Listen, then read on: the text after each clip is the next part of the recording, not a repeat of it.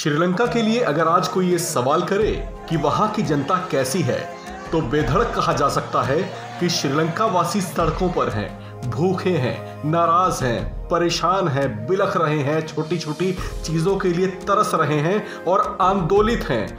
उनमें सत्ता के खिलाफ आग है, उनसे कुछ ना ठीक हो पाने का विश्वास है। वे अब परिवर्तन चाहते हैं, राजपक्षे शासन का अंत चाहते हैं, वापस रोज़गार चाहते हैं, घर में जलता चूल्हा चाहते हैं, बिन बिजली बंद पड़े बल्बों से उजाला चाहते हैं।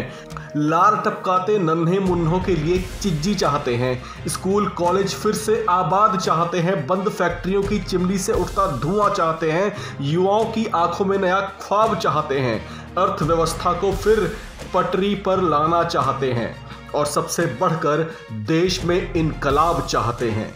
श्रीलंका में आज इसी तरह की चाहतों के साथ पूरे का पूरा देश इनकलाबी हो गया है।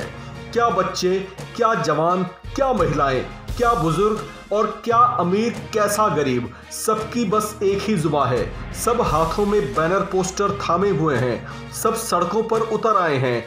पिछले कई दिनों से नारे लगा लगा कर अब इनका गला भी रूंध चुका है। लेकिन फिर दिल की ज्वाला ऐसी है कि आंदोलित मन को शांत होने ही नहीं देती। इन सब के बीच राष्ट्रपति गोतबाया सिंहासन पर तो बने हुए हैं, लेकिन एहसास उन्हें भी है कि उनकी उल्टी गिनती शुरू हो चुकी है।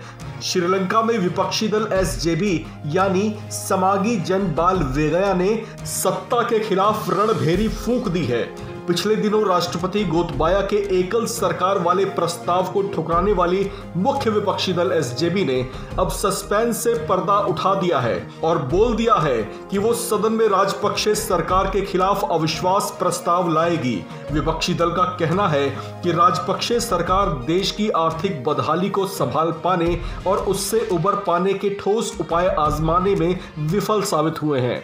ऐसे में उनका सत्ता में बने रहना ना देश के हित में है और ना ही देश उनको बर्दाश्त करने वाला है। मुख्य विपक्षी दल एसजेबी ने अविश्वास प्रस्ताव लाने के लिए समूचे विपक्ष की संयुक्त बैठक बुलाई है, जिसमें आम सहमति बनने के बाद सरकार के खिलाफ मोर्चाबंदी तेज की जाएगी।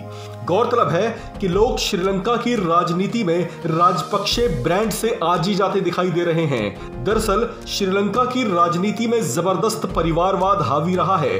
राजपक्षे परिवार का दबदबा यहाँ की राजनीति में देश को मिली आज़ादी के बाद से ही कायम रहा है। ये हालाँकि कोई राजघराना तो नहीं है, लेकिन राजपक्षे कुंबे का राजनीतिक रसूख ऐसा रहा है कि वो खुद यहाँ की राजनीति के केंद्र बिंदु में रहते आए हैं। यहाँ राष्ट्रपति के पद पर गोदबाया राजपक्षे हैं। इन्हीं के बड़े भाई देश के प्रधानमंत्री हैं, जिनका नाम है महिंदा राजपक्षे। इनके छोटे भाई हैं बासिल राजपक्षे, जो अब तक यहाँ के वित्त मंत्री थे और जिन्होंने देश की आर्थिक लुटिया डूब जाने के बाद मंत्री पद से इस्तीफा दे दिया था।